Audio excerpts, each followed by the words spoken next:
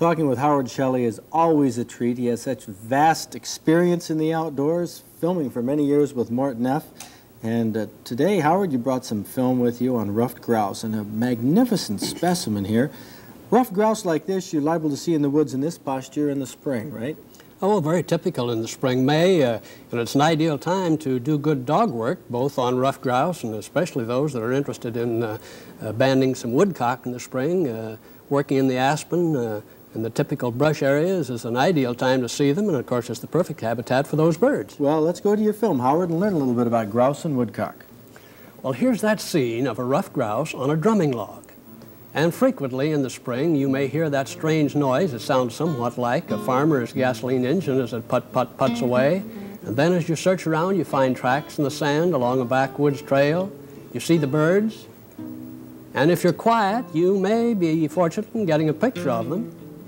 But then, to go one step farther, let's look into the big north woods, where it's a very typical habitat area, and that ruffed grouse will return to the same log, the same spot on that log, and of course it's known as the drumming log, and that means uh, May, when he's trying to uh, find a mate, and at periods of about every four minutes, you'll hear that strange, prolonged drumming of the ruffed grouse.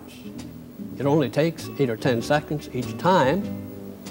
And somehow or other, he will find that female. A new family will soon be on its way. And then it was only shortly thereafter, in searching through the woodlands, when we come upon what we know now as Crazy Sam. I'm sure those that's interested in ruffed grouse have heard of the many, very many peculiar things that happens in the spring of the year. Somehow or other, frequently they're attracted to a strange noise or sound. And in this case, just our merely driving the car along a backwoods country trail attracted the ruffed grouse and he'd come out to the point where actually we were within six or eight or ten feet of him on many occasions. Not just once, but several times easy to get up close enough to get a good picture of him. And then finally he would slowly disappear back into the bush. And again during May, you'll hear that drumming noise repeated time and time and again. That means he's searching for and looking for a, a mate. And it's shortly after that, in searching through the backwoods, that we come across an old bent over pine stump and down at the bottom, right beneath the edge of the ground, there is Mrs. Ruffed Grouse on the nest. Already eight or 10 eggs in that nest.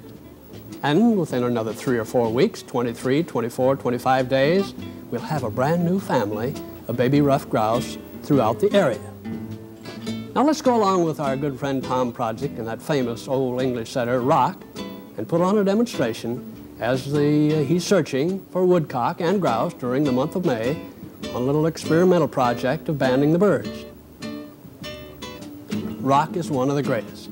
Well, Tom, of course, Rock is not alive anymore, his great gun dogs, but he does have other dogs now, and you know, he's one of the top woodcock banders in the state oh, every yes. year. Yes. Bands At one time, he banded over 400 in one spring and gained a national uh, recognition uh, for his work in banding uh, woodcock. This is just part of the much research that's done in Michigan on wildlife. Right, right. Typically of rock, he likes to mosey across that stream, but if you'll watch closely here in the shintangle of uh, tag alders, uh, frequently he'll go on a point, and maybe Tom won't be able to get there in time, but Rock will do his utmost to hold that point. Now here you see he'd pointed a woodcock. Then the Mrs. Woodcock flew away before Tom actually got close enough to slap the net down and catch the bird. Now let's move into this area. Tom, uh, Rock is right on the scented trail of a woodcock. And a beautiful point. Seldom will you see anything quite like the next scene that you're going to see right here. Because Rock has that woodcock pinned down to the point. The bird is less than 10 or 11 inches from the end of Rock's nose. Right on top of it. How about that? That takes restraint to train a dog that way that can Then, of course, back. the bird goes fluttering away. Now, nearby is an area where uh, Tom refers to it as the evening dancing uh, ground. On the way again, Suddenly, a grouse right in front of him, and he can't resist the temptation to make another good point. We see the grouse moving slowly about. Rock gets a little bit closer, and the bird flies away. But this is where the woodcock put on their evening show for the females. They'll fly high in the sky, dart, and then almost dive straight down to the ground in such areas as this, which is real close to good woodcock cover.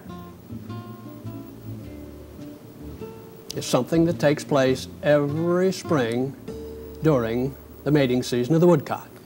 Well, the birds at that time of year are rather reckless, like Crazy Sam is. A little Right. easier to get close to. In the fall, it's a different story. Different story entirely. Howard Shelly's going to be back in just a minute with some tips on hunting ruffed grouse. There's another place you can get some good tips on hunting. This month happens to be a special deer issue.